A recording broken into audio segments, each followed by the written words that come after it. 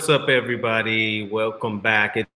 It's me, Quincy LeNear Gossfield, founder of 21 Days Black. I am hoping that you guys have uh, had a nice month. It's been a while since we had our last live, but I'm really, really excited about uh, tonight's live. But first, let me introduce some of you all to who we are. So we are 21 Days Black. Uh, 21 Days Black is a Black Economic Empowerment Challenge um, that lasts for 21 days. It's a 21 day challenge focusing specifically on the financial empowerment and wealth building in the Black community.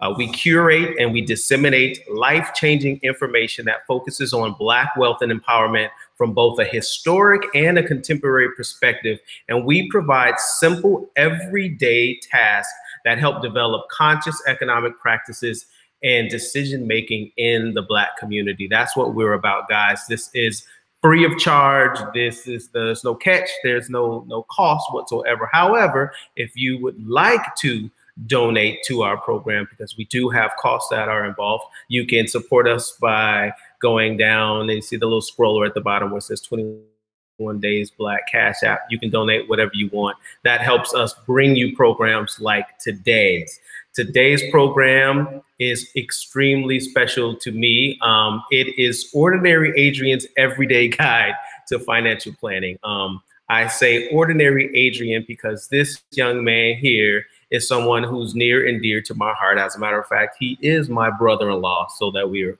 real, real, real clear here. Um, and he is someone who has inspired me throughout the years because he is such a pro with his finances. Um, and I've watched him grow his finances. I've watched him secure uh, his financial uh, the financial security of himself and his family and the people around him. Um, and he has always been someone that we could go to for advice. And Adrian wanted to contribute to the group um, with ordinary Adrian. so um, I will first say Adrian is an average guy. He's a husband, a father of four, a 17 year director of IT and security, and he has a master's in business administration and a bachelor's in information systems. So he is not a licensed financial advisor. He is a guy. This is why we call it the practical guide because he is a is an everyday guy who who learned who learned exactly what needed to be done to secure his financial um, security. So um, Adrian has created a framework of actionable steps that have helped his family and his friends take control of their financial future. Um, and Adrian wants to share, that's Adrian right there. I just popped him up on the screen so you guys can see his face. Uh, he wants to share his step-by-step -step wealth building practices from a practical and an experienced everyday perspective. Um, when I think about Adrian, I think about this, uh, this age-old adage right here. If you fail to plan, you plan to fail. And I'm guilty of that myself, and many of us are guilty of that. And one of the things with this group is, although we are focused on empowering ourselves, our community collectively, you really can't empower a community if you have not yet empowered yourself. Um, so the change always starts at home first. And so that's why we're really excited uh, to bring Mr. Brown to the live stream, guys. So please welcome, welcome. But before so before that, let me see any of you guys that are that are watching, currently watching. If you would like um, for your comments to pop up on the screen, I provided um, in the comments section a link. It says allow us to show your comments. Log in here. So also remember there is a slight crooked. My hat's a little crooked, but there's a slight delay um, between your comments and the live. So we receive your comments maybe a few seconds after you've probably posted them. So we will take some comments um, after each section um, to answer, but you know we're going to give you a breather. We're going to take a moment so that it uh, catches up, so that we're all on the same page.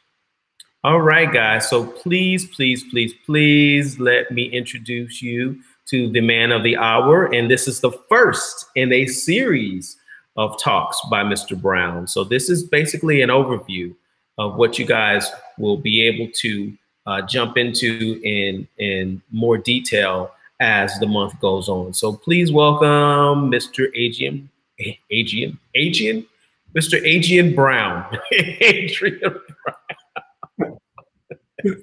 Thank you, Quincy. I appreciate the intro. Uh, so we'll go ahead and we'll get ready to jump into the slide deck here in just a moment once you have that up on the screen for us. Uh, so you guys, again, thanks for the intro. Sorry, go ahead. Go ahead. No, I, I'm saying I am going to step out, guys, and I'm going to put you in the hands, the very qualified hands of Mr. Brown. So you go ahead and take over, Mr. Brown, and you just call out your commands, and I got you on this end. Okay, sure, appreciate it. all right, everybody. Well, uh, first of all, welcome. Thank you all for taking a little bit of time out to, to hang out with me tonight. Uh, just explore personal finance, and, and as Quincy mentioned, looking forward to your questions. You know, I want to uh, try to make this as dynamic and interactive as possible. It always makes it a little bit more engaging. Hopefully, I can answer some questions that maybe you've had over the years, or maybe that will be prompted just from from uh, you know this walkthrough tonight. Um, so Quincy kind of already shared a little bit about me. Uh, as he said, I've been in IT for for about 17 years, right? Um, director. I'm currently a director of IT and security for a company here in Austin. Uh, I've had a successful and rewarding career, and I, I still enjoy what I do. Um, otherwise, as Quincy said, I'm, I'm, just an ordinary guy, right? And, and we wanted to really underscore that because um, you know, there's there's it's not about necessarily how much money you make. Sure, that helps, helps you save faster, helps you do some other things, but ultimately the concepts that I want to share with you is something that you can start applying in your life, uh, just like I did, right? Um, once again, not a not a financial advisor, right? I don't have any licenses, I, I don't have any certifications or anything like that, right? That is my disclaimer. Uh, this is simply personal finance uh, information, it's knowledge. I want you to take it, use what applies to you, uh, use what works. Um, I always tell people personal finance is called that for a reason. Uh, it is personal, right? Your situation is different than mine. Uh, everybody's unique. Some of us have families, some of us don't. Um, we all have a mixture. So we got to figure out what really works. So, um, of course, feel free to take what I say, throw it away, uh, or take take what you think is important and could work for you, and, and apply that in your life. So, uh, that being said, right, I'm not a not a uh, financial advisor, not certifications or anything like that. So, why should you listen to me. Uh, well, collectively studied personal finance and real estate for over 15 years. Um, it started with me with a, with a great book 15 to 18 years ago, and that's kind of what led me down this path. I found it interesting and exciting, and I try to share this information with anybody who's interested. Um, so that said, I have nothing to sell. There's no incentives uh, for me for doing this. Uh, I don't have any products or services again that I'm going to pitch. I'm just excited about personal finance, and more importantly, I think personal finance, it's, it's not well known, right? Uh, it's generally not taught in school, and oftentimes it's simply information that is learned around the dinner table. But even then, a lot of people don't get that experience. And if we're being honest with ourselves, uh, you know, black and brown communities and families, uh, it's even less well known, right? We like money, but we don't necessarily know money, right? And where a lot of that stems from, black Americans, right? We've been denied education or maybe had low quality education, and that has led to uh, lost job opportunities or low income job opportunities. And if you don't have that, then you can't really even start thinking or planning for something like home ownership. Um, and even then, some folks did apply right for home ownership, and, and, obviously some folks have gotten homes today, and that's great. But even then, maybe it was subprime uh, loans, and that also led to the financial collapse in 2008 with the housing market. So uh, there's a lot of reasons, right? There's a multitude of reasons, and this is always multifaceted. But I guess the point is, a lot of black and brown families and again communities have not had a lot of wealth to manage right? So you come to the table and it's like well um, you know that that uh, personal finance discussion over dinner time probably skipped your your household just as it did mine right? So because of that there's actually a major gap between people of color and white families. And we're going to look at that a little bit later we'll touch on that and kind of show some stats. Uh, but if what I can do is try to bring some of this knowledge to you and help you, one, get your financial life on track, but also hopefully you can then take this and, and share this with people that you care about. Um, so, uh, what's my objective? All right. So, a few things. One, as Quincy mentioned, I, I provided um, I'm going to provide a framework here. Um, again, 15 years of studying personal finance and real estate. Again, I found it interesting, but there's a lot of complex topics out there. So what I'm trying to do is really distill that down, share, share with you those concepts so you can get onto a path of strong financial health. And so what I want to do is help you understand what each concept is, why it's important, and then how to do it. So at the end of this, I'm going to provide, and as we go through, I'll talk about the actions. But at the end, I'm also going to share with a list of concrete actions that you can take if you think that this is going to be good for you. Um, so again, before we uh, before we jump in, remember please ask questions along the way. And what I'm going to do is try to pause in between the uh, the different slides, and we'll try to share, you know, spend a little bit of time to answer those. Um, so with that said, let's go ahead and go on to the uh, to the next slide, please. So what we're going to talk about here is, um, yes, here we are. So learn to control your money, or your money will control you. So, so that's sort of the theme here. Uh, and the reason I make that a theme is because oftentimes it seems like folks are living paycheck to paycheck. There's nothing left over. Uh, it's hard to get ahead, and because of that, we're always thinking about how, how can we afford that next bill or what's going to happen if there's an emergency, right? And only thing that does is it causes stress, anxiety, and worry. And so what I want to do again is give you some uh, some knowledge to really help you get your finances under control so you can have peace of mind, right? And so after this, right, after we go through today's series of topics, you're going to have some actionable steps that you can start to employ. So then after you start to get your money under control, next topics will will then go in the future will be things like your 401k, right? How can you learn to put that money to work for you? And what I want you to start doing is trying to shift your mental uh, or your mentality of thinking about every dollar as an employee, right? Once you learn how to control your money, then you can start to put it to work for you and it starts to multiply, right? It brings back more dollars. Um, so again, that's future, but let's start today with, with a bunch of concepts and we'll, we'll start with, um, actually next slide, we can probably keep this moving here. We can start at the beginning. And oftentimes when I start having conversations with people, say, hey, where do I start? Well, I'm going to say we need to start with your emergency fund. Um, so let's go ahead and, and, move on to the next slide, please, Quincy. And with that, instead of starting with just an emergency fund, I want to break that down and take that just a, a little step, uh, I guess, before that. And so what I'm going to say is a mini emergency fund. So my goal here uh, that I share with you is try to aim to get $1,000 in your checking account. That is more than your monthly bills. And the objective here, the why behind this, is so you can prevent using credit cards. So, okay, let's say your bills are $2,000 a month. Simply add a thousand on top of that and try to make that your goal. Try to always keep that $3,000 in this example in your account. This way, if there's ever some, uh, you know, some small emergency, right? Maybe it's a flat tire, uh, maybe somebody has to go to the to the doctor's office and there's you know 40 or 50 dollars a copay or maybe a family member has an emergency you need to go get get some cash for them. Having that extra buffer in there allows your bills to continue to still come out of your checking account automatically. And by the way that's going to be a theme you'll hear from me throughout this entire uh, presentation today is automating everything. Uh, but having that thousand dollar buffer allows you to do those things right? Have that car repair get that doctor's visit uh, do whatever you have to do without having to go get a credit card. Um, and the reason why is if you don't already know, credit cards have a lot of really high interest, right? And I think that's what causes a lot of people to get into financial debt. That interest, when it's working against you, when compound interest does, is not working in your favor, it can really make it challenging to get out of debt. And so, one other why to think about here, as I've uh, shown here on the slide, is 60% of Americans cannot afford a $1,000 emergency, right? And so, obviously, there's there's uh, things that are bigger than a, a, flat tire or a doctor.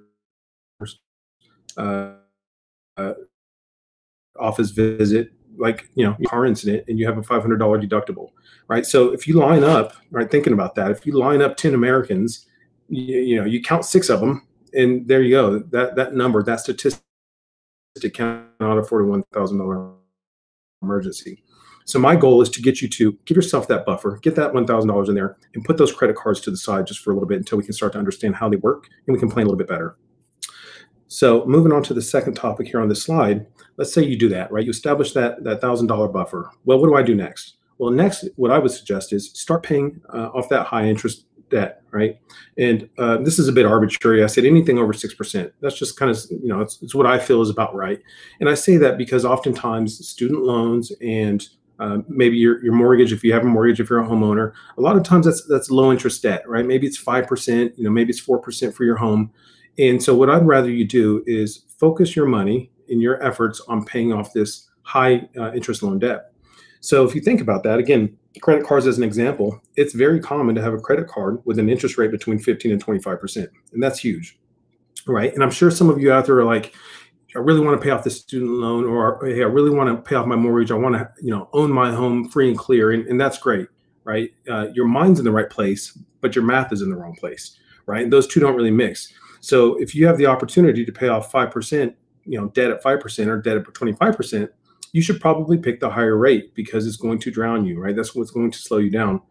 And again, that's just credit cards. There's payday loans out there, and those are notorious for crazy interest, and oftentimes have interest rates up to 400%.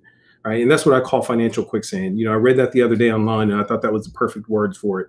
It's financial quicksand because by the time you start to pay it in a week or two, it's built up so much interest that you're you're looking to try to go get another loan from you know whether it's from a bank or a family friend or get another payday loan place just to get out of the first one, and so it really just starts uh, becoming a slippery slope.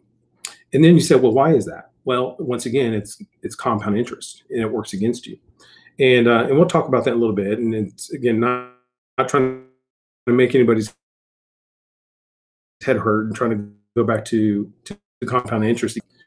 And so, uh, anyways, on this topic of prioritizing paying off your high interest loans, there's going to be a few actions I would I would suggest. So the first is if you have a credit card balance, right, meaning you're carrying a balance month to month, that is what you want to get down, right? So you want to uh, start paying that credit card off. And let's say you have two or three cards. Um, generally speaking, I would say look at your two or three cards, look at your statement, and figure out the one that has the highest interest rate, right? If you have two cards and one is 15% and one is 20%, I personally would start paying the one that's 20%, right? It's got the highest interest rate. It's the one that's pulling you down the most. And so look at that. And if you have multiple cards and you're like, look, I, you know, I can't find this interest rate. It's too much of a headache. Just pick a card. And I'm going to say that because any one of those credit cards that you have, they're probably all much, much greater, much higher interest than again your student loan or your home loan. Okay, so now what do you do? All right, you got a card in mind. You're ready to pay it off. So the next action is you need to make what they call principal payments. Right, it's principal only. And the difference is, right, if you swiped your card for a thousand dollars maybe now it's got $200 of interest on it. So if you just think that you're going to make an extra uh, loan payment, right? Maybe you pay $50 normally, but now maybe let's say you're going to double it and you're going to pay $100 a month. Just doing that doesn't actually pay off the principal. It pays off the interest. So what you want to do actually call up that credit card to make a principal only payment. How do I do this? Right. And they might say, well, you have to go to this online portal and maybe there's a checkbox that says principal only. Then you can make the payment. Others, uh, other card companies might say, well, you need to send us a check. And at the bottom where it says memo, you might have to write principal only. Then you can send the check in. Uh, so just know that if you just go to make extra payments, that's going to go to interest, and that's not going to help you get out of debt as fast, right? Um, so that's that's an action, right? So pick your card, give them a call, and ask them if they accept pre uh, sorry principal only payments. And some might say no, but I think generally these days many will will accept that. But you need to do it in one of those ways uh, that I mentioned. All right, so your next action, now that you've done that, is to get that account to zero, obviously. And let's say you do that, right? Once you get that to zero, I have a couple of other requests that I would suggest to you. Set up auto pay in full, right? You never want to get there anymore. And if you're already at a zero balance because you've just paid it off, setting up auto pay isn't going to hurt anything because there's nothing on there. Um, one thing to consider uh, I'm not fully against credit cards because it's part of the game that we have to play, right? To build credit, to get a car loan, or to get a home loan. So if you must, take one of those payments that you are required to pay every month. Maybe it's your mortgage, maybe it's your rent. Um, and be you know be careful with mortgage. Maybe maybe forget that one. But take a utility bill, right, or car insurance, and put that on that card. And after that, put that card in your drawer, right? Don't look at it. Just know that your car note is going to there, your car insurance payment, and it should be set to auto pay in full. That way, you never have to deal with that again. But you know that you are still making positive hits to your credit because you're paying off that payment from your credit card or whatever it might be. Uh, so that's kind of it on this slide. Now I want to pause, and if Quincy, if we have any questions uh, from from the viewers, then let's go ahead and talk about some of those. Otherwise, we can proceed to the next uh, next slide here. Let me see if we have any uh, questions. I see we have a comment from April Vonner. Can you see that, Adrian? Uh, I cannot, but hold on. Let me just uh, pop over here. So the comment is I ruined my credit by not using any credit cards for several years. I have since recovered. Yes. Okay. No, that's good, and that's uh, it. Really is a good comment. And that kind of goes to what I was saying here, just as we wrapped up that last point. It's important to get that card down to zero, and for people that are not good with using credit cards and managing that, that's why I say set it to auto pay. Put a bill on it that you must use, like your car note or your insurance, and then put that in your drawer in someplace safe. And that way you still continue to use that card. And ultimately, it doesn't matter, right? Some people just say, well, I know I'm always going to keep Netflix. I'm not doing away with that. So I'll put Netflix on there. And that's absolutely fine. It could be a $10 month charge and you just pay off that $10 every single month in auto pay. And that's going to show those positive hits to your credit. And that way we stay out of a situation like April mentioned where her credit, uh, she stopped using credit, right? And that essentially kind of, uh, it doesn't show a good payment history if, if there's nothing to show, right? So thank you, April. That's a, that's a good point. I appreciate that. So I'm going to bounce and bring back up your presentation. All right, cool. Let's do it. All right. So a little more savings. Uh, so before we get there, right, before I start talking about the emergency fund at the bottom of this slide, let's make a quick pit stop and talk about APRs. All right. So APR means annual percentage rate. Now that's misleading because it's actually simple interest, and that does not include compounding. If you start to hear, uh, you know, I've probably already mentioned the word compounding a few times now, and that's because it's all around us.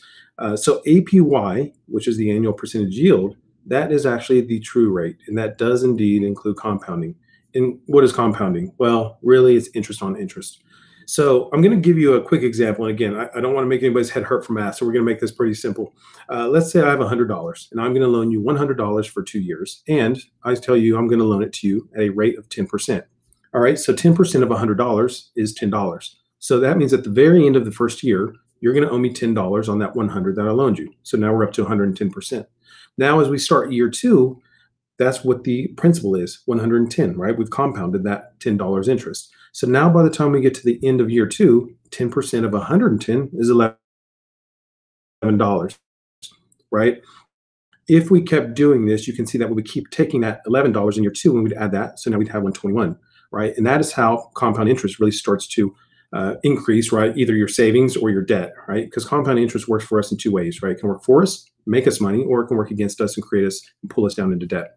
So, right, you're probably thinking, well, we're talking about an extra dollar, right? We went from ten dollars to eleven dollars. The thing is, uh, in my example just now, that was compound interest for annual, right? Annual compound interest. It's very common that some loans do monthly compound interest, right? So if you can think of that same scenario, but now from January to February, you're compounding that, right? And then from February to March, you're compounding a different amount. That really starts to get up there.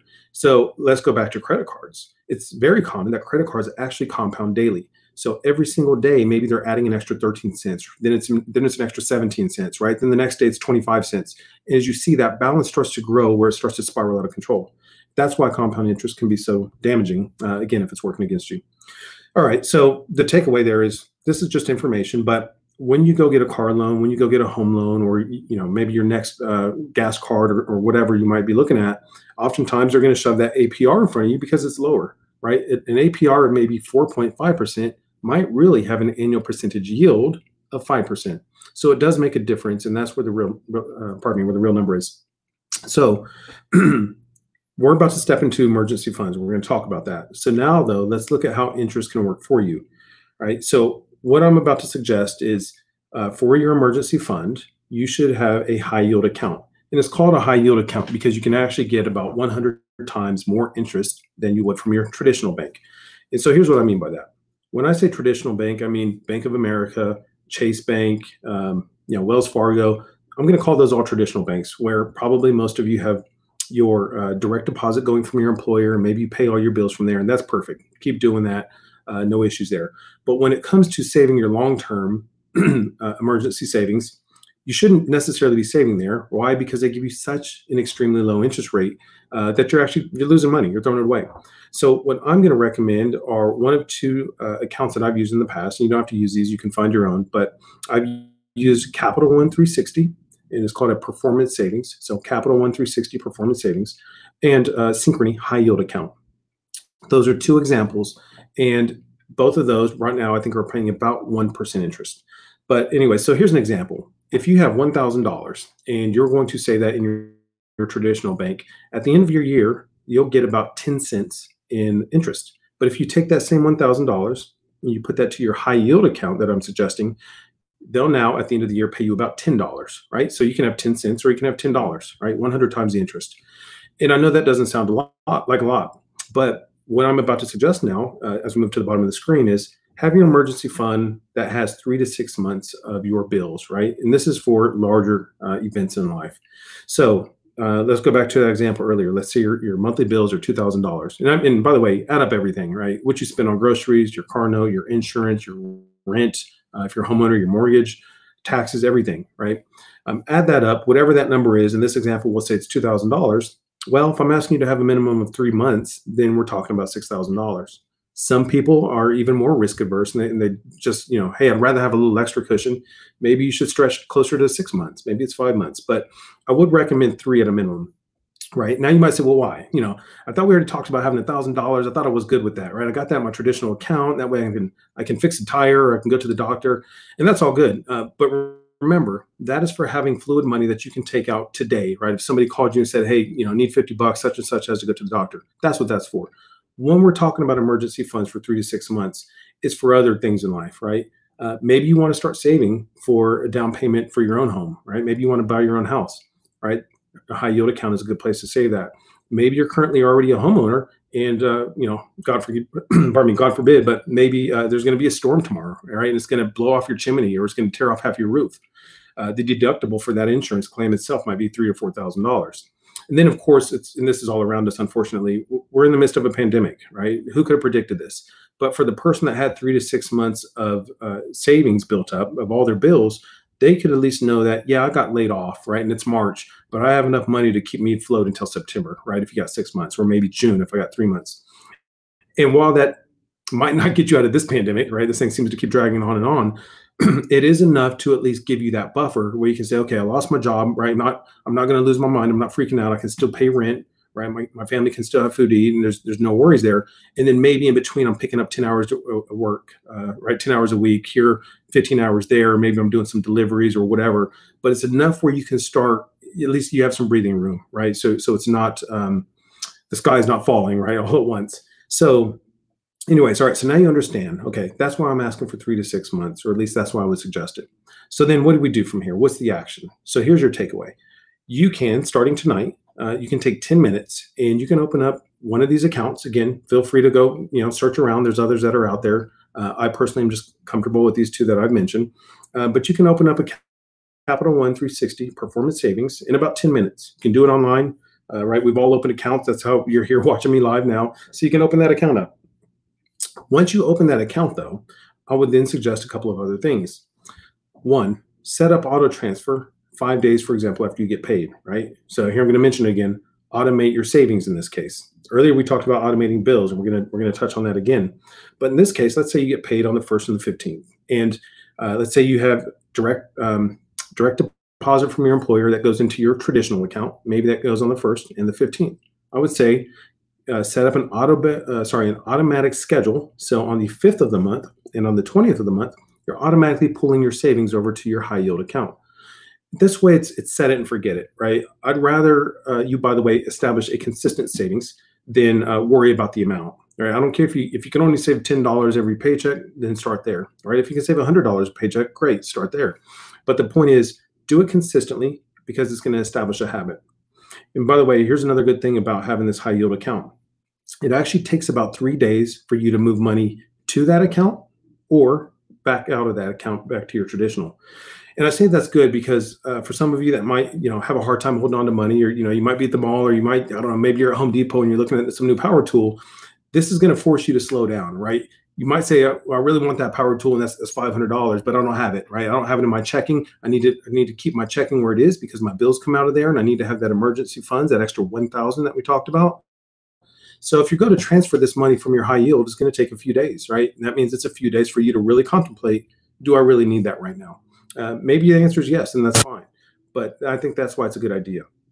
And so, by the way, I'm going to talk you through opening this account. Uh, you go online, uh, obviously, you fill in your information, you, you, hit open, and in a matter of minutes, you'll be able to actually log in there. Of course, save your password and everything else in a, secure, in a secure place. But after that, you need to link your account that you just opened to your traditional account. And the way you do that is pretty simple. They're going to ask you for your routing number and your checking account number. You'll put that in, and then they'll say, "Hey, in about three days, you're going to notice very uh, two small deposits to your account. Go see what those deposits are. Come back here and tell us. Right? It's probably three cents or maybe seven cents. And once you verify that in three days, your account is linked. Right? So now you can move money from your traditional account over to your high yield account, And now again, you can go set up that automatic transfer rule to start pulling that money uh, again in three to five, five days after you get paid. If your deposit is slowed down from your employer or whatever it might be, uh, figure out what works for you. But um, that's that's kind of the the structure of that, and that's kind of how that works. Now, one other tip, thing at least I would suggest is we're all going to get raises periodically, and when you get a raise, try to allocate 50% of that raise to your saving or your investing. Right. So maybe you get a dollar an hour raise, which means if you work 80 hours in two weeks, you get an extra $80 on your paycheck. So go back into your high yield account, modify that rule, and add uh, $40, right? Half of that. And if you want to do more than that, feel free. But it's just a challenge for you to say, every time I start making more money, I should also increase my savings or my investing or paying off that that uh, high interest uh, credit that we are talking about. Sorry, high interest debt that we were talking about. Um, so anyway, so that's kind of where we are. That's the end of this slide.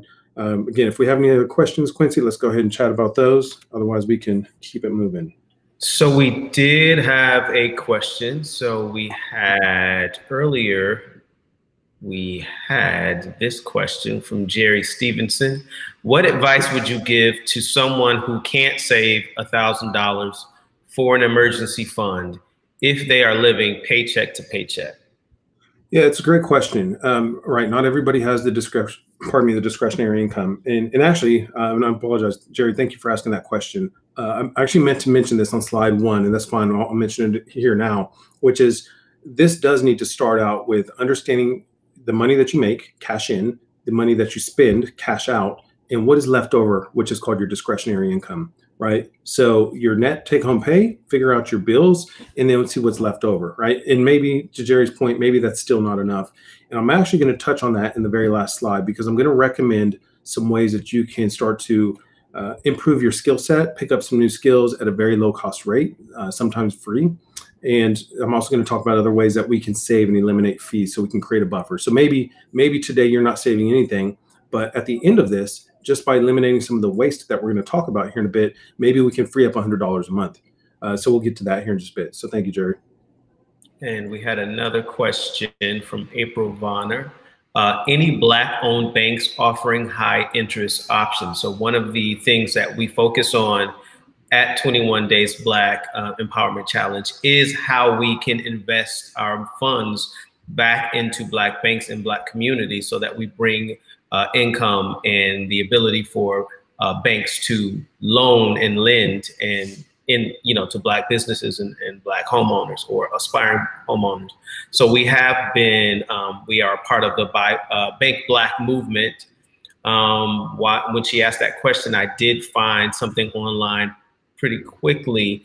Uh, this one particular bank in Los Angeles. I'll show you that. Um, so Broadway Federal Bank uh, has assets. Well, not the assets, but anyway, they have a high yield interest checking 0.15% APY, 25,000 minimum to open monthly. So there, there are banks out there that are available. I'm assuming that just take some research. Absolutely. I'm, I'm sure, at least I hope that there's there's options out there, right? The two that I mentioned again, those are 1.0 or 1.05 APY. So in this case, it's not to discredit this bank um, or anybody. I'm just showing that comparison because we are talking about interest rates today. Uh, 0.15 versus 1.0, right? That's you know I can't do the math in my head, but that's probably a 7x difference. Um, so, and also keep in mind a couple of the banks I mentioned, and I'm, I'm I chose these for a reason. There's actually no minimum balance and there's no fees to open it. So I do want to see people start to get in and start establishing good habits sooner than later. Because if there is a if there is a barrier like twenty five hundred dollars to even open that account, it's going to slow a lot of people down, right? So maybe start with one of the options I've suggested today, because you can get in there starting today. It costs nothing to open it. There's zero minimum balance. You can start building your money, and then once uh, maybe you're comfortable and you have $2,500, then maybe you can open up this account or something like that.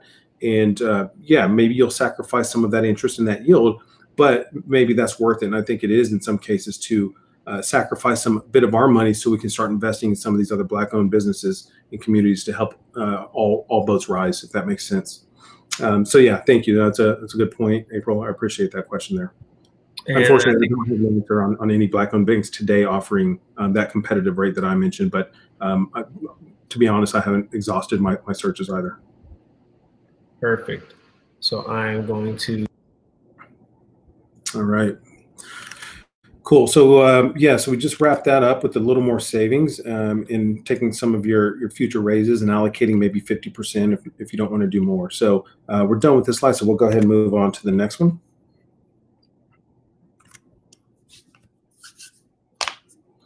And so what we're going to talk about now is let's start building good habits, right? And I say that because uh, we just covered a few of these, and I really want to um, let's just kind of walk through them, right?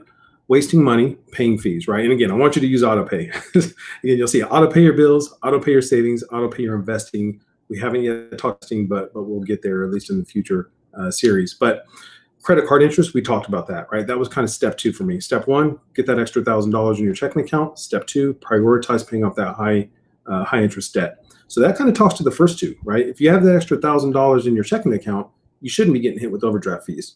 But then the next piece is late payments, right? because some of us might still be paying bills manually. I know it maybe uh, isn't isn't so comfortable for everybody, but I, I would urge everybody to start getting into using the technology that is made available to us. Right, we can auto transfer money from our traditional to our high yield account. We can pay all of our uh, vendors and our, our creditors on time if we use automatic bill payments, and you don't have to worry because I'm not suggesting that you don't stop looking at your bills. You should absolutely keep looking at those in that way, if there's an error, you simply call the, the creditor. Maybe it's a utility, maybe it's your, you know, whoever, your car insurance, and you still have right dispute that. Have that conversation and say, hey, look, you know, normally this is eighty dollars. Today it was 110.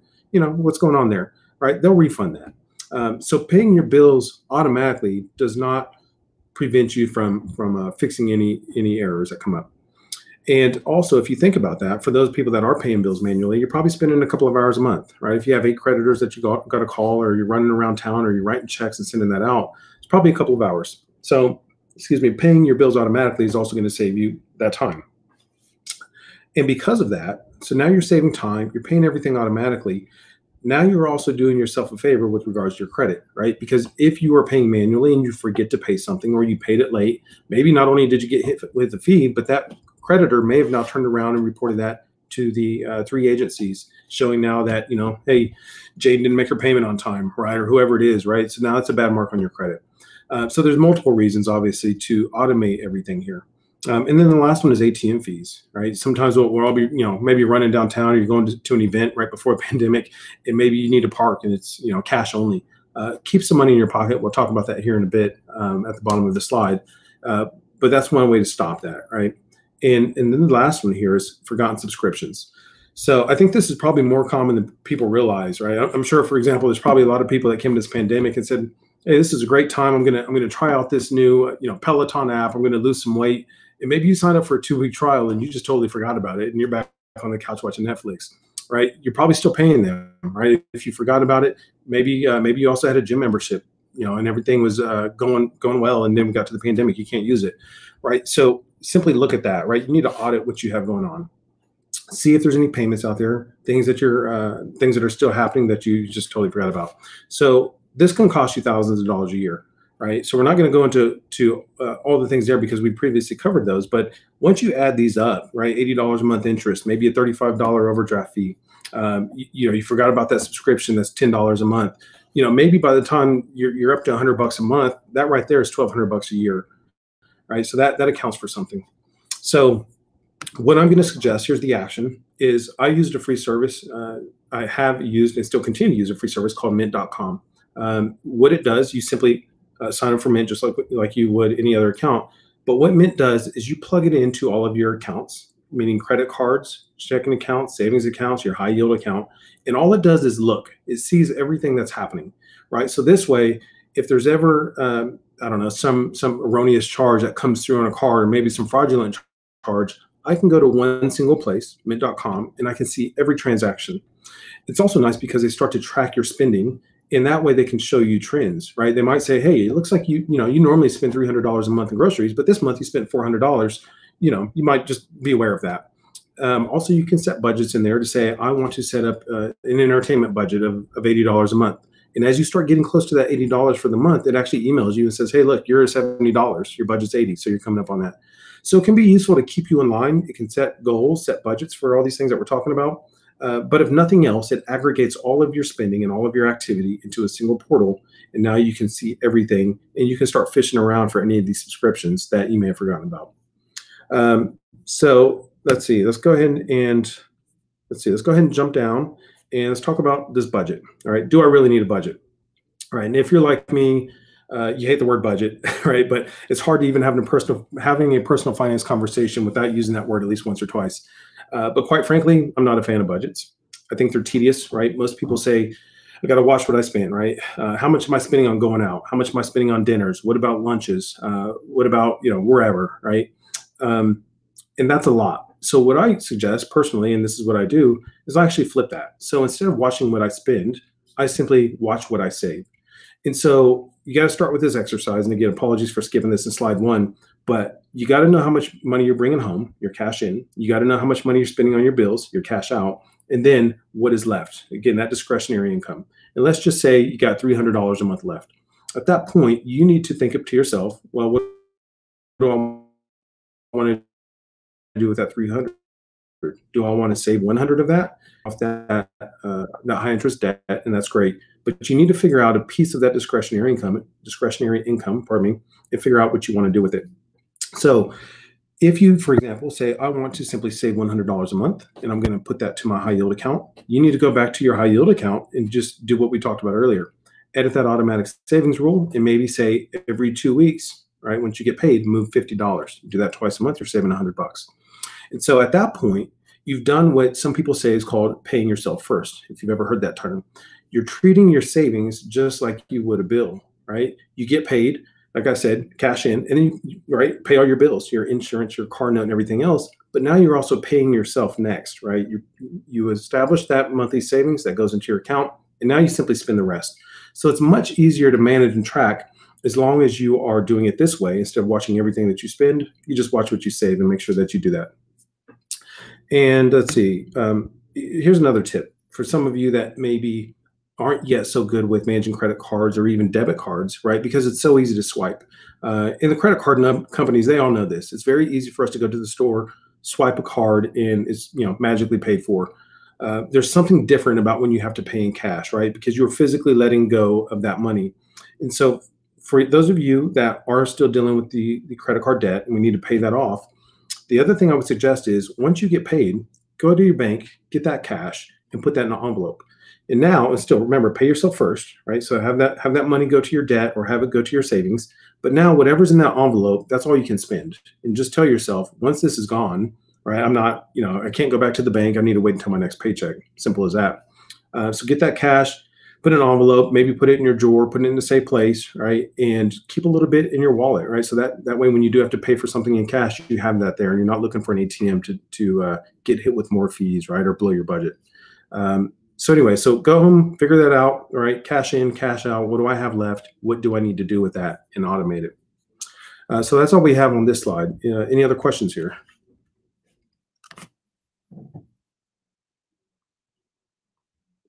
All right. So I believe we, we actually have, um, let me see. Um, we had a couple of comments. Okay, what we got? No questions per se. We did have a comment from April Vonner. I was charged $15 because I moved money from one account to another, actually same account, but the different type account of account. I called and had a talk, a talk. She had a talk with oh, the with the lady. right. um, but Crystal said earlier, um, I think we she was probably referring to uh, the black banks and having high yield. I feel you; they would be better equipped to compete with the big guys if more people opened accounts with them. Absolutely, I agree with that, and, and that's why I said I am an advocate of still investing in black businesses. Uh, but for the sake of just getting people into building those habits right now, um, then it's going to make it challenging, especially when there's a twenty-five hundred dollar you know minimum just to get in there, right? Because to Jerry's point, what if we don't have a thousand dollars right laying around? Uh, so these take you know it's baby steps, right? Start mm-hmm. with what we can. Start with the accounts that have no no fees, no minimums, uh, no hurdles, and start establishing that. And then let's start redirecting our money to some of these black owned businesses. Absolutely. Yeah. And that way we can compete.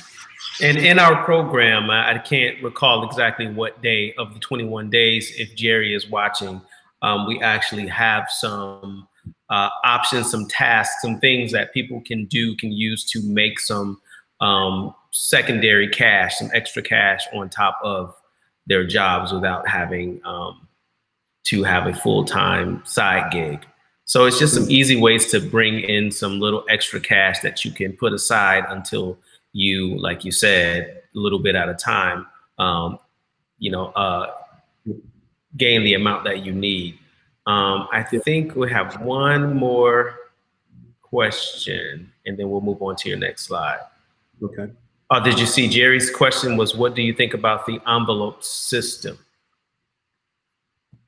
So I think, and I see some comments there. It looks like Robbie, uh, thanks Robbie for joining. It looks like she says, "Hey, envelopes work." Uh, but to April's point, envelopes work if you let them. Right? We, we all got to have this self discipline, and a lot of things. Uh, what I'm talking about is a lot of tactical, right, concrete steps that we can go do.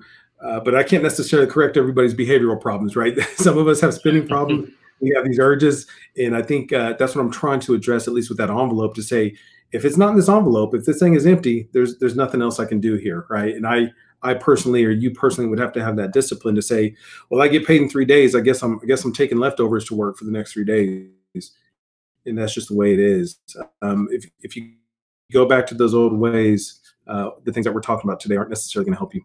Um, so again, Robbie, thanks for uh, thanks for seconding that that envelope in uh, in April. Yeah, it's gotta it's gotta be up to us to make it work. Okay, so let's see. So beyond building good habits, let's go ahead and proceed to the next screen, and let's talk about assets versus liabilities. All right, so uh, these are sort of two sides of the same coin, and, and we're going to see that here in just a minute. But uh, liabilities, I, am going to try to keep these definitions simple. Liabilities simply they take money out of your pocket, right? Uh, they do not produce income. So think to yourself: cars, jewelry, clothing, things like that, right? We all like to look good. I get it. I mean, yeah, I'm wearing a watch right now.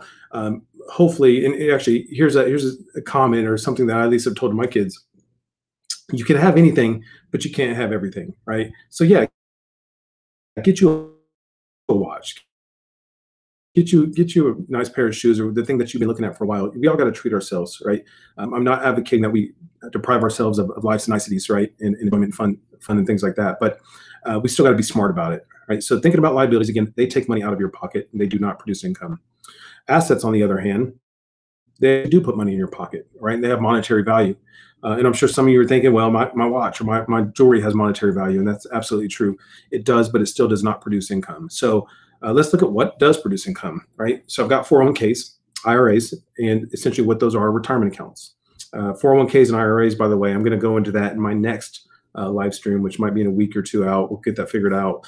Uh, but we're going to take a deep dive into that, right? We're going to talk about 401ks, IRAs, which, by the way, stands for individual retirement accounts. Uh, we'll talk about stocks, bonds, uh, asset classes, mutual funds, S&P 500, all kinds of uh, hopefully useful stuff. Because, and I think this is important because I don't know the stat on this, but the, a large majority of employers offer 401ks, and it's a way for you to access the stock market and start investing, right? And that is the difference between saving and investing. You're starting to put those dollars to work. Um, so, anyways, um, sorry, I probably went a little further on that than I need to, but 401ks and IRAs, that is a way for you to invest money and that returns you money. So that puts money back in your pocket. Same with real estate, right? Um, and not necessarily if you buy your own home and you live in it, that's good um, because that can give you an appreciation and, and, you know, generally real estate tends to increase in time, right? Maybe you bought something for $200,000, but in five years, maybe it's worth 210, right? In 20 years, maybe it's worth 250. Uh, that's not always the case, but it is very common for real estate to appreciate.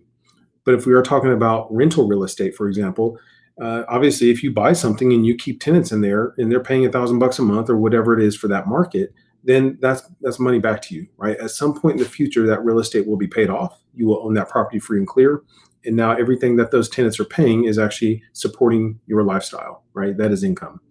Uh, the next up, I mentioned business equipment because that is a way for you, a business in general is a way for you to put money into your pocket, obviously. So, uh, but I want to use this as an example, right? Maybe some of you out there might be, for example, photography enthusiast, right? And you might say, well, I want to go get this Nikon camera for three thousand dollars, and there's you know there's a nice lens on it for an extra three thousand dollars, and that's six thousand dollars all in. And maybe you just like to do pictures, uh, you can probably take decent pictures without spending six thousand dollars. However, if your business is photography, at some point in the future, one, not only uh, is that equipment a write-off, but two, uh, let's just say you spend that six thousand dollars, and let's say your average photo shoot is six hundred bucks. Well, after ten photo shoots, you got your six thousand dollars back, right? Everything after that is going to be income in your pocket, and again, that's a business, right? So that's what's different. So, yeah, as a camera, uh, can that be uh, classified as a liability? Absolutely, um, just like some other things as well. But just ask yourself: Does it put money in your pocket, or does it take money away from you, right? um, and especially cars. I'm going to hop back to liabilities. When I talk about cars, right? Oftentimes people drive, uh, sorry, will buy a brand new car. Generally, in the first year, that car depreciates about 25%, right? So if you buy a $20,000 car, at the end of year one, it's worth $15,000, which is why a lot of people say, even if you got to buy a, a newish car, get, get one that's used. Maybe it's one year old, right? But you've already let the original owner take the hit. Uh, but still, a car's liabilities, taking money out of your pocket, it's maintenance, repairs, things of that nature. Um, in the last, though, I'm going to hop back over to assets. Uh, the last one there on that bullet point is cash. And ultimately, with cash, we already talked about our high yield account. If you put $1,000 in your high yield account, it's going to give you $10 at the end of the year, roughly, right, with 1% uh, returns. But for people that also have cash, they can also do just like a bank does, right? They can be a, a lender, right? So there's private lenders, there's hard money lenders. Uh, you know, maybe I want to do a real estate deal and I need $80,000 and maybe you have $20,000. You say, hey, you know, maybe they'll say, hey, Adrian, I'll loan you this twenty thousand dollars. That way, I can go do my my fix and flip, right? Get a house, repair it, um, sell it. That way, I make some money. But now I'm giving you interest on your money. All right, maybe I owe you ten percent on the twenty thousand dollars that you loaned me for six months. But anyways, it's just a point to say that cash itself can also be an asset if it's employed the right way, right? So we talk about uh, putting our our money to work for us. Uh, so anyway, so hopefully all this makes sense, right? Retirement accounts, real estate, business equipment, uh, all of that stuff can make you money if you know how to use it. All right, so now that we've defined those, we can talk a little bit about net worth. And so uh, with net worth, it's simply your, you know, the difference between your assets and your liabilities. So, um, and by the way, I like to tell everybody, think about your net worth as your scorecard. I'm going to show you what this looks like. Uh, in fact, we can probably go ahead and go to the next slide now. Think about your net worth as your scorecard, right? If it is negative, meaning you have more liabilities than you have assets, you need to figure out a way to turn that around. And you might say, well, why is this important?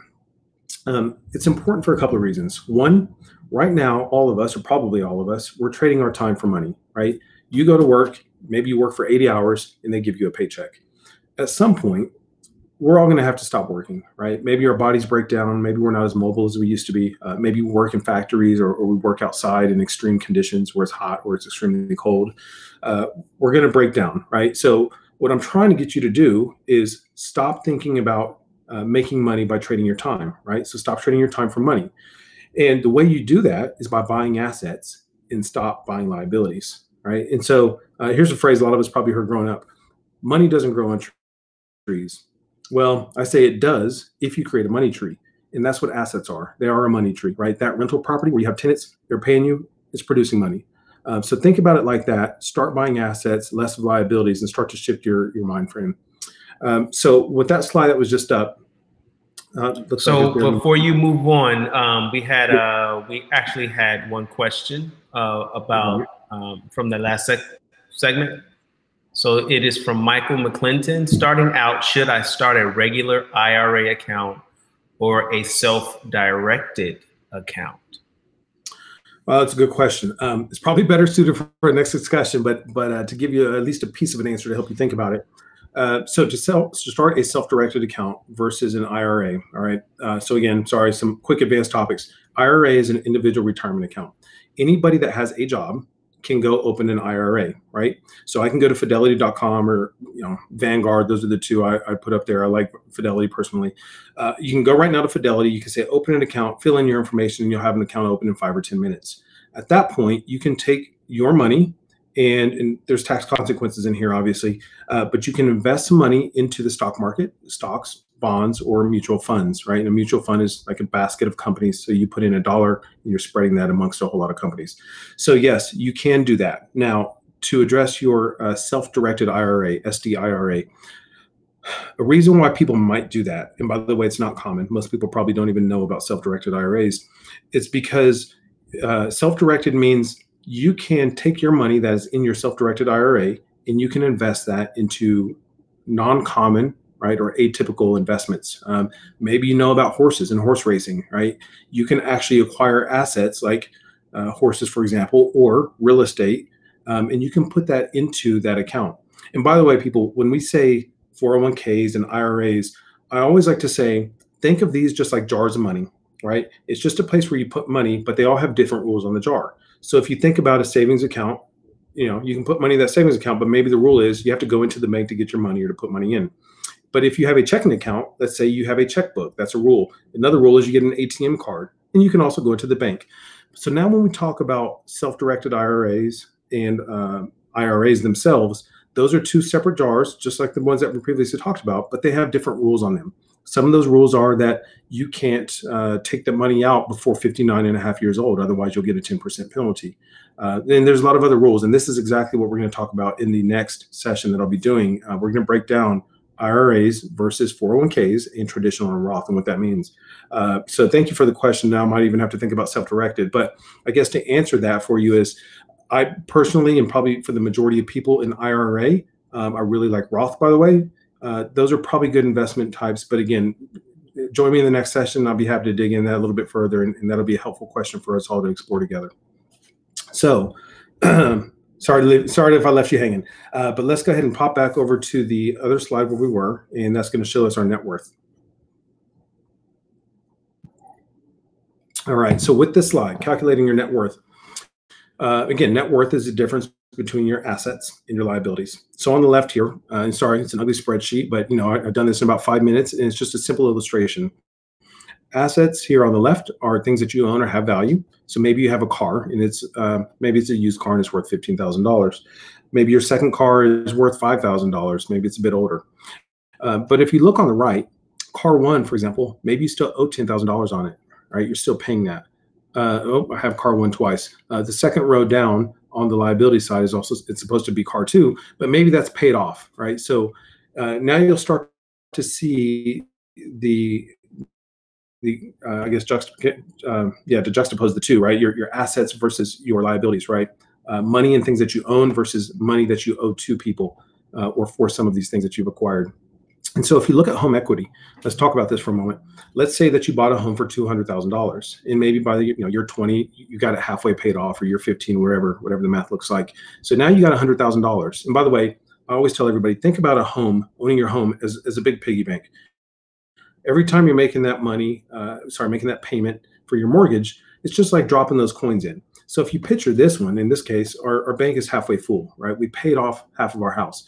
That is your money, and that's called equity, right? The amount that you own within your home. But now, if you look on the right side, we still owe $100,000 in this example. Um, so anyway, so the short of it is, add up everything in your assets. That's $150,000. Add up everything uh, that you still owe. Here are our liabilities, and that's minus $110,000. So our net worth, of course, is the difference between those. So 150,000 minus 110,000 leaves us with the 40,000 in net worth.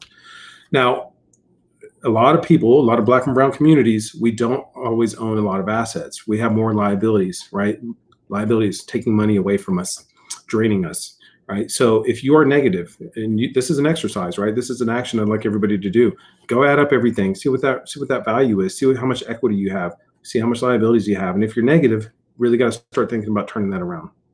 All right, so next slide, please. So what we're about to look at here on the next slide is uh, the median net worth. And the median net worth, by the way, median, let me explain that. Um, the slide is going to catch up here in a moment. Oftentimes we hear the word average and we hear the word median.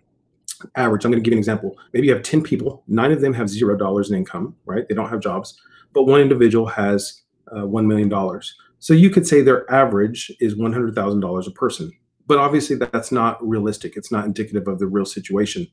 So, median, which is what this graph shows, is uh, we'll use that same 10 people. Uh, maybe the first person is extreme poverty. Maybe the last person is still a millionaire and has extreme wealth. Excuse me. The individuals in between, right, the other eight, they might have more realistic incomes like $35,000 a year, 38, 38, maybe there's a 40, maybe there's two or three people with 40,000. And so when you line those up, the median is actually saying, here's the people, it's more representative of this population, of this sample of 10 people that we're talking about. And that's what this is. And I think that's important to understand because this is, is a realistic uh, depiction of where we are, right? And so if you look at, uh, let's just look at the uh, 2016, looking at that year, obviously this is a few years old, four years old, but $20,000 for black families and Hispanic families are just above that. All right, but having $20,000 versus jumping up to what white families make, and that is a, is a major difference right? Twenty thousand versus one hundred and seventy thousand dollars, right? That's over. It's it's an eight point five x gap, which is absolutely huge. And another way to think of that is just to say, you know, for every dollar a black family has, a white family has eight and a half dollars, right? So uh, it's it's a big gap, right? It's there and it's and it's real. Um, I, honestly, I didn't I didn't even boil the ocean. I didn't put in a lot of effort to go find these stats, right? A quick Google search, you, you know, read through one or two, and you'll see that it's pretty eye opening. Uh, so anyway, so we can go ahead and proceed to the next uh, to the next slide here. And this is uh, on the next one is actually going to show us our median net worth by age. And this just kind of uh, paints it in a slightly different picture. And once the, the slide catches up here, we'll see that starting with 18 to 34 year olds, which is on the far left side, there is um, a head start of about $25,000 for, for white families in this area. I'm going to give this just a moment. Seems like there's a delay here. So anyways, um, 18 to 34 year olds, there's a head start of about $25,000. And one thing I want to point out here is you can level this out, right? I'm saying this because we are here today to learn about financial education. Hopefully you'll start making different decisions, start shifting your thinking from liabilities to assets. And now, by the time you buy a, a home or you start investing, right, in your retirement accounts, even if you don't use and, and uh, deplete those resources, right, your, your house is something that generally will be maintained as long as you keep it up, right? Do the repairs. That is something you can hand down, right, to your children or to your niece or your nephew or whoever it might be. And giving somebody that much of a head start is, is huge, right? A house can be $250,000. On average, the US American house average is $250,000. So being able to hand something like that down, uh, yeah, you can level the playing field, right? You can give others after you a, a chance to um, have a good quality life and not be in debt, right? But it's important you also got to share the knowledge, right? You can't hand somebody a whole lot of uh, money or or assets and expect that they're going to know what to do with it because again, this stuff isn't taught, um, right? Unless you teach it at your dinner table. So, uh, still, let's focus on the graph now. Let's look from the 18 and 34, right, where there's a slight gap there. Maybe the uh, looks like the white family maybe starts out um, around $25,000, but if you look up to the 35 to 44 bracket, it widens it actually goes up, right? So that goes from about uh, maybe $10,000 all the way up to $100,000 for individuals uh, that are white uh, in that category. So uh, again, the gap has grown. Now, if you fast forward and you look towards the end there, it's kind of leveled out, but it's still 6x. Even by the time somebody gets to 65 years to 75 years of age, the gap is still 6x, right? It's, it's $50,000 versus $300,000. Uh, and again, that's major. Uh, so anyways, let's go ahead and move beyond this slide and let's take any questions if there are any.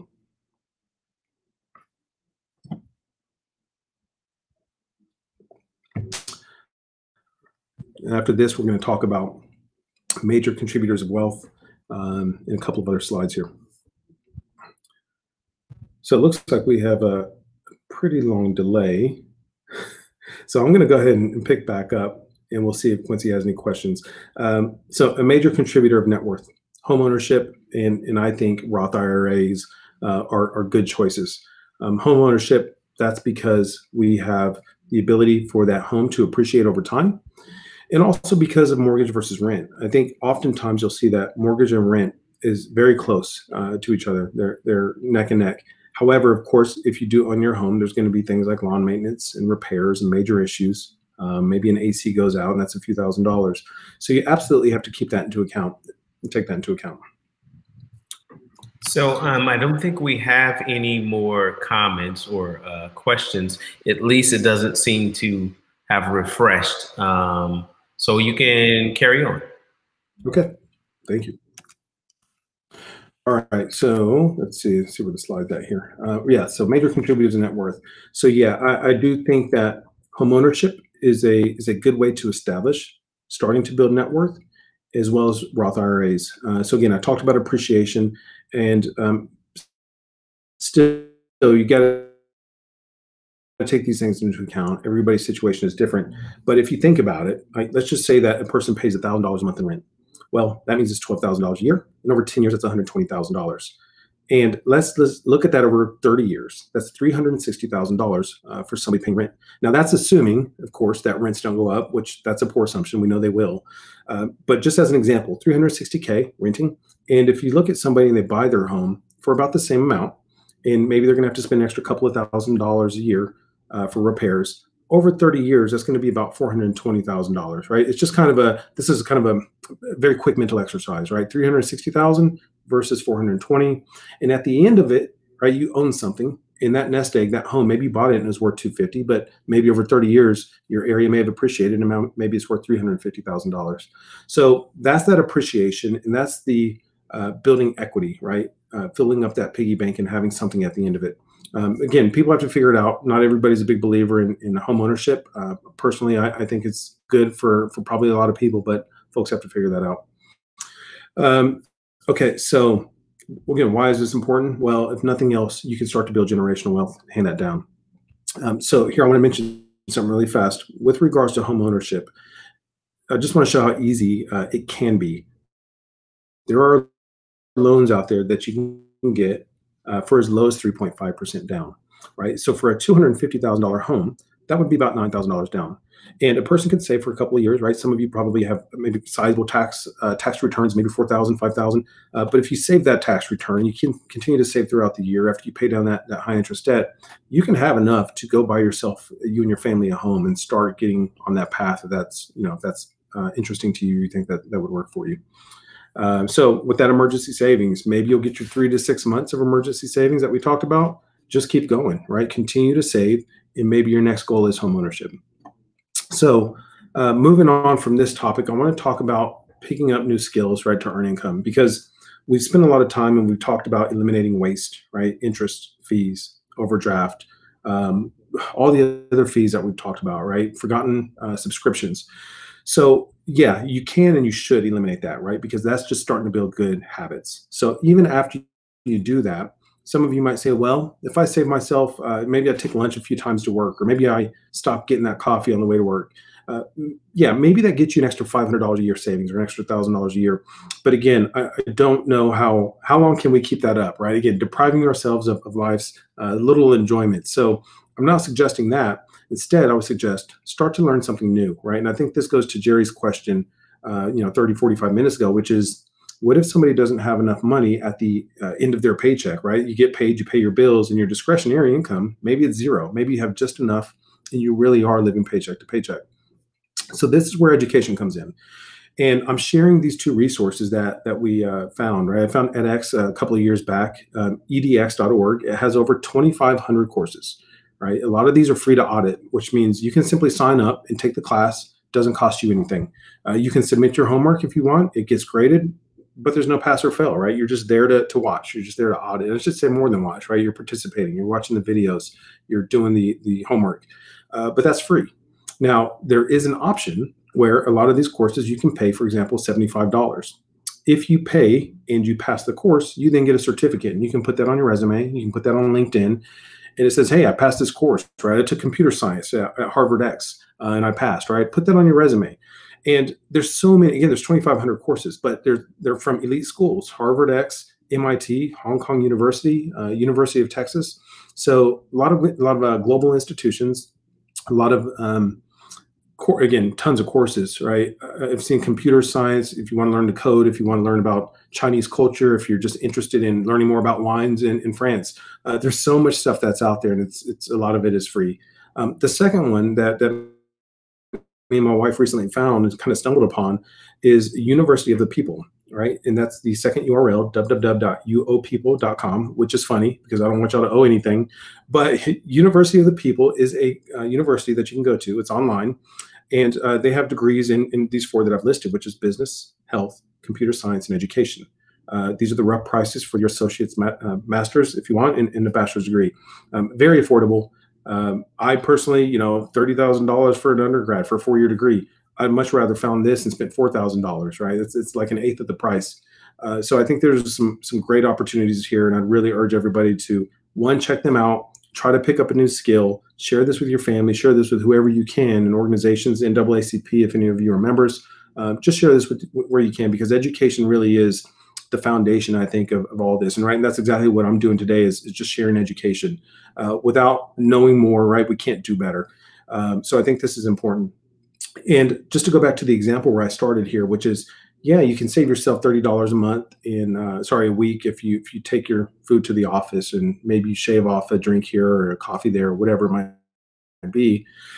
If instead you increased your earnings by one dollar an hour, right, that itself is about two thousand dollars a year right? So there's the difference, right? You can you can starve yourself of all these little things and uh, save maybe a thousand dollars, or you can go study something, right? Learn it in six weeks, put that on your resume, and then maybe you get a new job, or maybe you go to your your current boss and say, "Hey, look, this is what I've learned," uh, right? And and promote yourself, right? Go for that raise, and I think that's valuable. And I think there's more value here because there's unlimited potential. There's unlimited upside, anything that you learn, and you can parlay that into an increased salary and a better quality of life. So uh, let's go ahead and move on from here. Let me check time. Looks like it's 8:12, and um, if we have a little bit of time left, which I think we do, I'll cover this final section if there's no other questions. So I'm going to jump and just kind of keep going. Uh, Quincy, I'll let you interrupt me since there are some delays here. Uh, so let's talk about cleaning up your credit, and we'll see when the slide catches up. Uh, so cleaning up your credit and buying assets, right? Uh, so again, forget about liabilities, and I know we're all going to buy some little things here and there, but assets should be the focus. Think about your net worth. That's your scorecard. Uh, so how do we do that? Well, oftentimes we're going to need credit, and so I want to talk about uh, a few few things here. And by the way, this is the last topic. I know I've covered a lot here. So why is it important? Well, because one day you'll need to buy a new car. Uh, and by new car, I mean a slightly used car. Uh, but you'll want to do that, or you'll need to buy a house or want to buy your house, uh, which is a good thing. Or maybe you'll, you'll need to furnish that uh, house as well, and you don't want to go buy a bunch of couches and, and uh, different furniture in cash, right? So having your credit's important. And there's three types, by the way. So there's revolving credit, and revolving credit are simply like credit cards or gas cards, right? They call it revolving, almost like a revolving door. Uh, you know, you use a little bit of money, you pay it off to zero. You lose use a little bit, you pay it back off to zero. So that's revolving. And installment uh, installment credit is simply like a car loan, right? Maybe you start off with eight thousand dollars and you pay that down seven, six, five, four, all the way down to zero, right? You're making fixed monthly installments, two hundred bucks a month or whatever it is, um, until it's paid off in full. And then the last type are your open accounts. Uh, these are like utilities, right? Uh, with utilities, you use them and then you pay for them in arrears, right? You use electricity for the month and then you pay your electrical company, um, and that's what that's what open accounts are. So when it comes to credit, there's a few different factors, uh, and the biggest two are your payment history and the amount of credit that you use at any given time. So starting with payment history, uh, probably as simple as it sounds, are you making on-time payments, right, for your car loan? Right? Every month, did you make a good payment in January, February, all the way through to December? And if you did, you'll have 12 good marks of uh, credit payments on there. And then as for the amount owed, that simply means if you, for example, have a $900 credit card limit, how much of that $900 are you using? So the advice here is never use more than one third. And you know, if you get a $3,000 credit limit, still don't use more than a third, which in that case would be $1,000 right? For a $900 card is $300.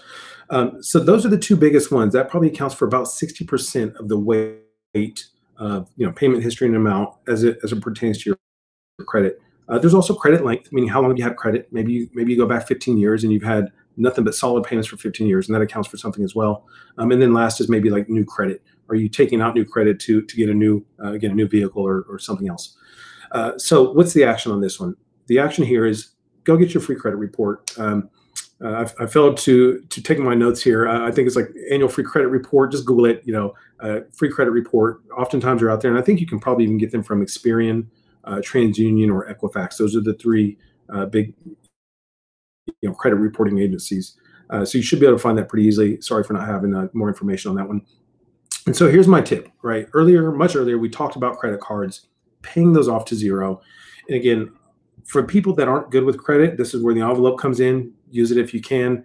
Uh, for the people that are, are, are actually good with managing their their debit card and keeping their balances and paying off every single credit card to zero every single month, if you're good with that, you should consider uh, simply using credit cards. For example, cash cashback. You know, we have a cashback credit card, and I try to put everything on it, but I pay everything off in full every single month.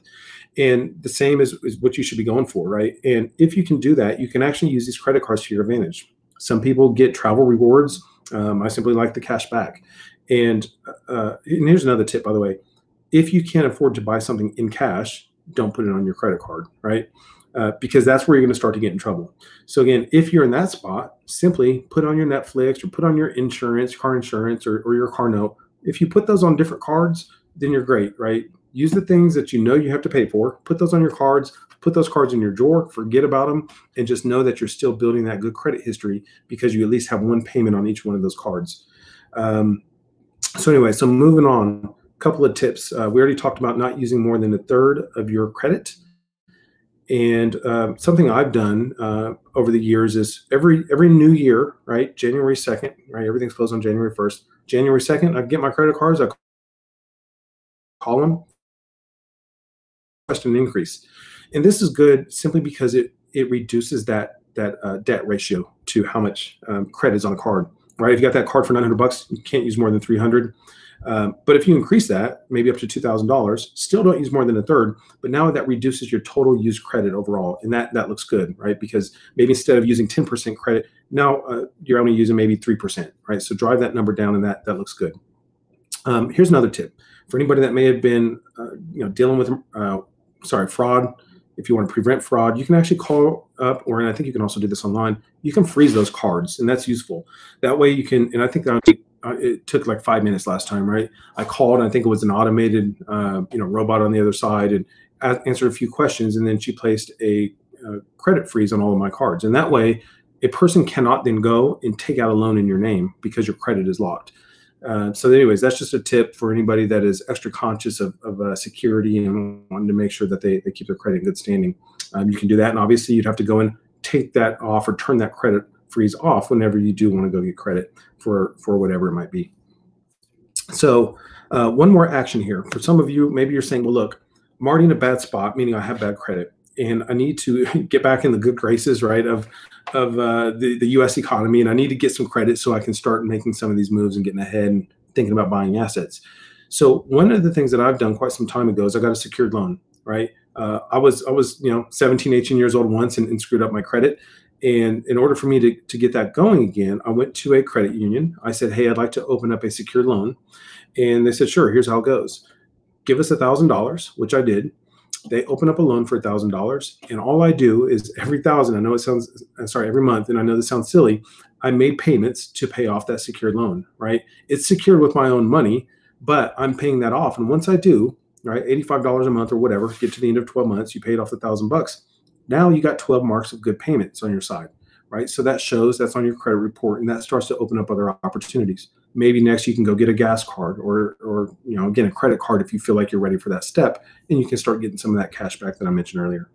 Uh, so anyway, so that's, I think that's pretty much it. Um, oh, actually I do, I do mention, sorry, I do mention accounts and collection, right? Uh, my big disclaimer this is not legal advice. I'm simply telling you what's worked for me. So I'm going to talk you through a story um, and we'll, I'll point out a few a few things here.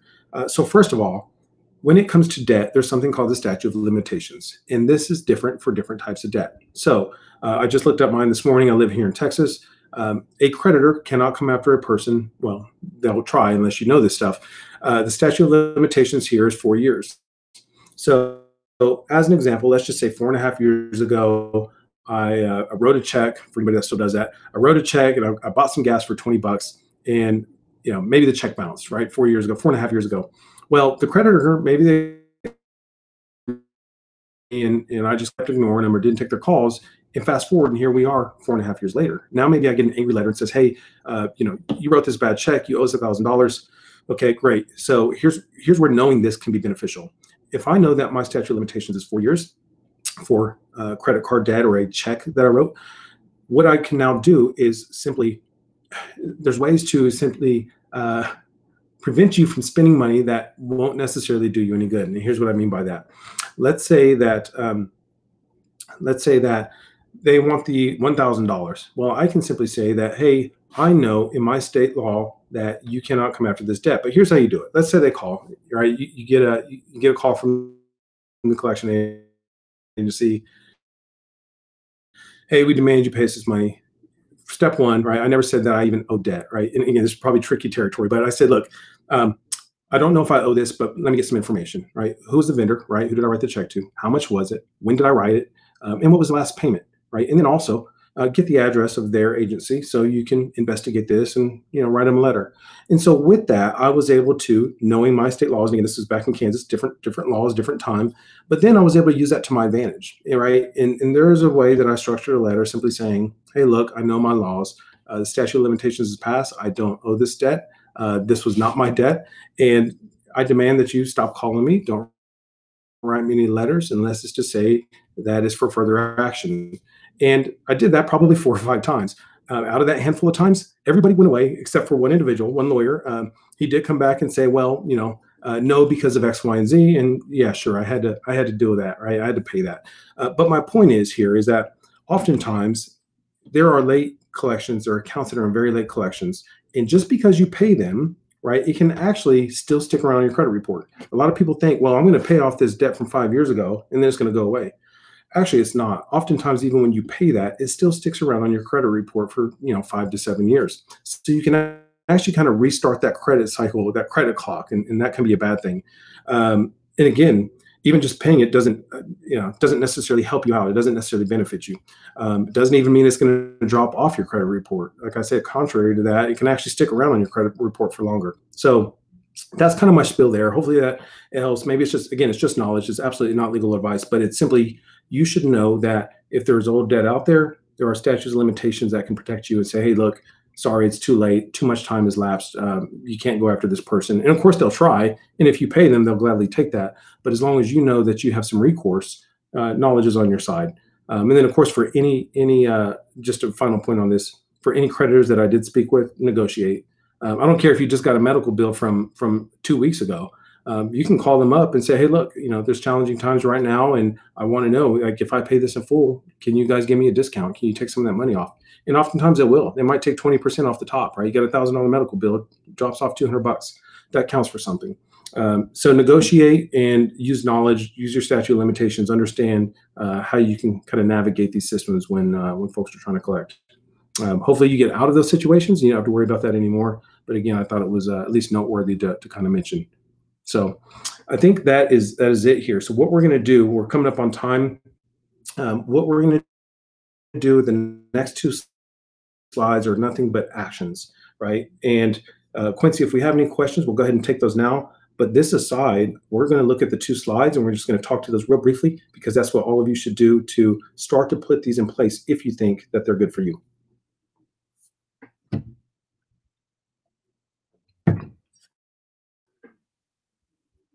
All right, so let's see what we got.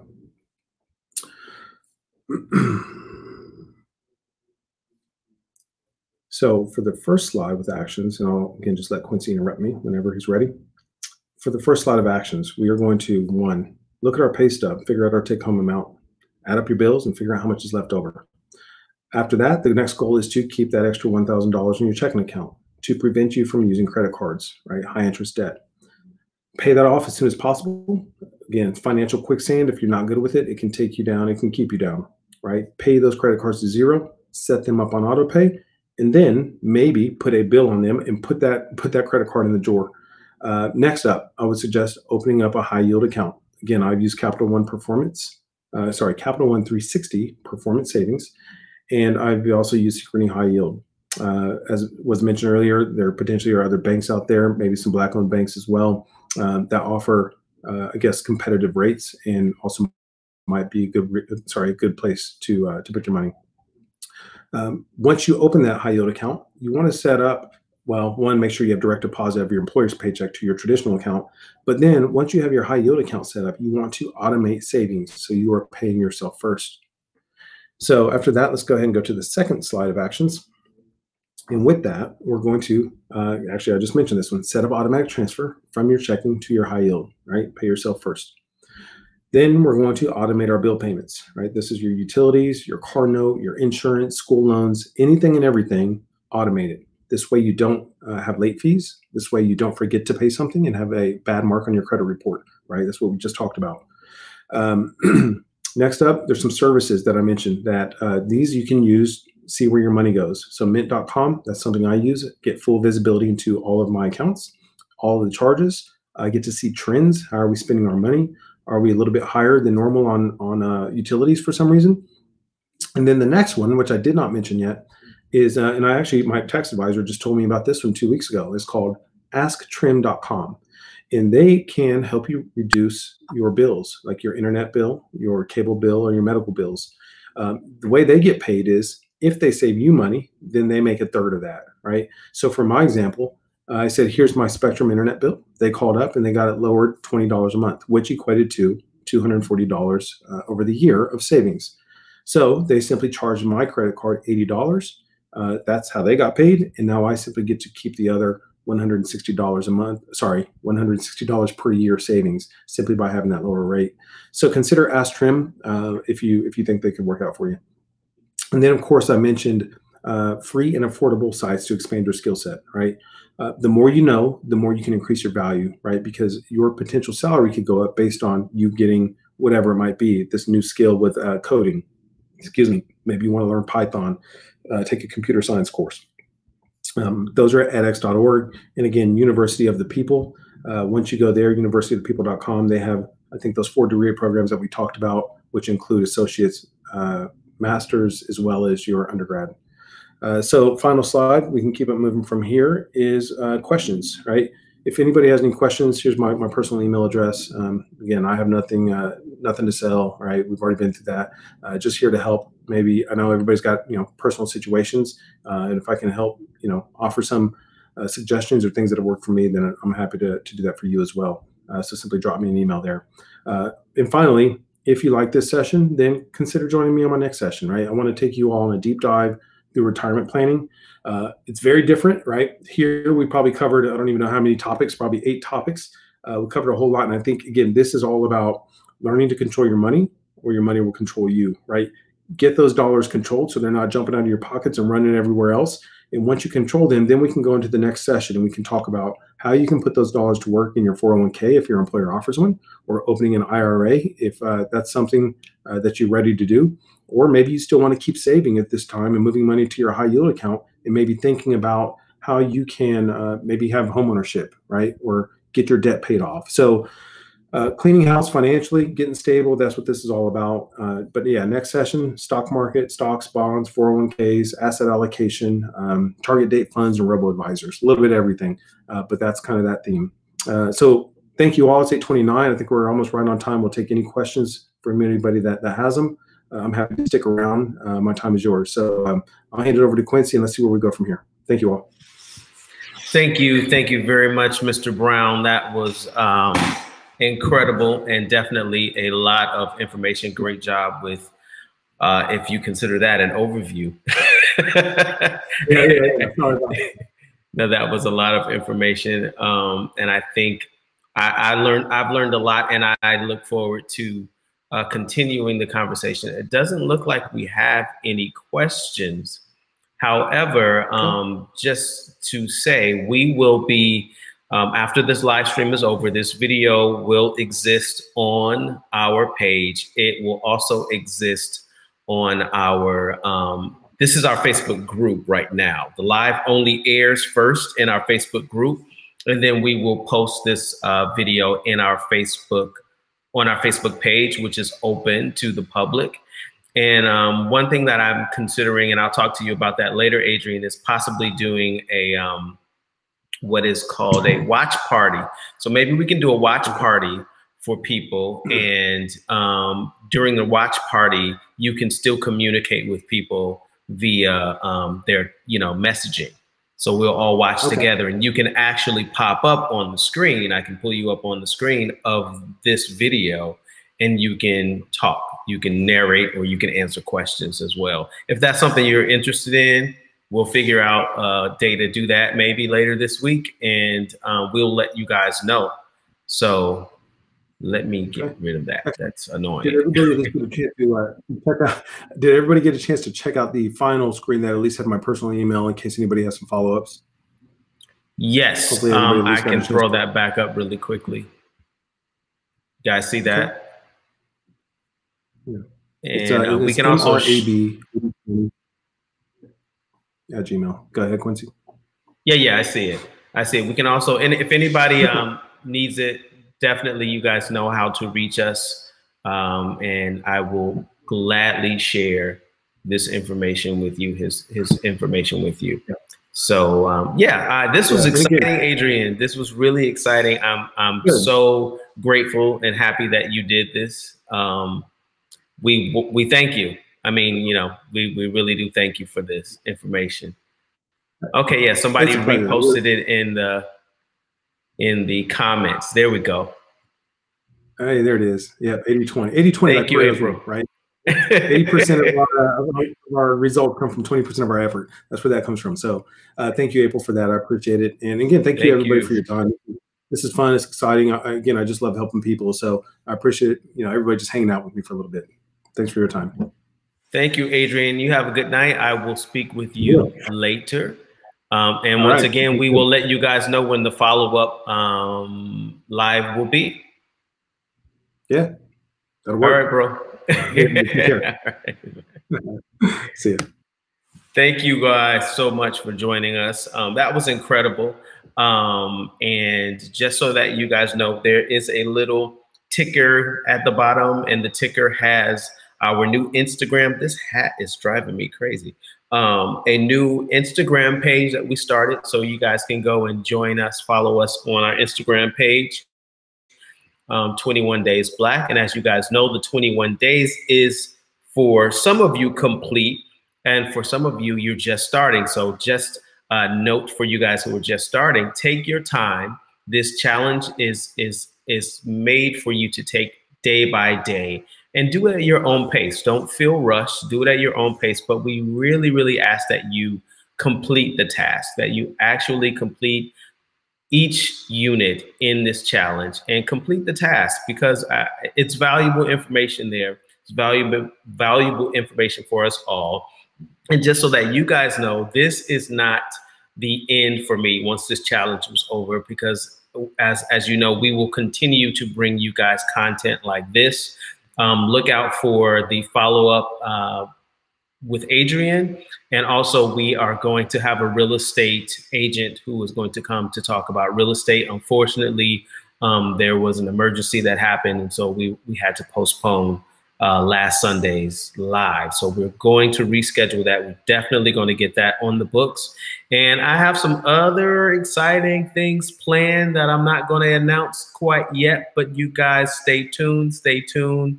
And once again, thank you. And you can feel free, please feel free, if you'd like, to donate through Cash App, whatever you can $2, $5, $10. Thank you, uh, Demita Joe, for that donation earlier today. And that actually helps us pay for these live streams because they are not free. Um, but meanwhile, keep coming back, keep sharing, keep getting people to come to 21 Days Black Challenge, the Empowerment Challenge. Get your friends signed up. We kind of slowed down a little bit there. We, we hit about 1,600 and it kind of slowed down. So we need to see more people in the group, more people going through the challenge because that's what we want to do. We want to educate our community. This is about what we do, regardless of whether we're protesting, regardless of whether um, there is a hot topic that we are angry about. Like, this is what we do constantly. We cannot fall back asleep, people. So, again, thank you. I'm Quincy LeNear Gossfield, and you're watching 21 Days Black live stream. And I really, really thank you guys for joining us. So, have a great, great night. I am going to retire this right now.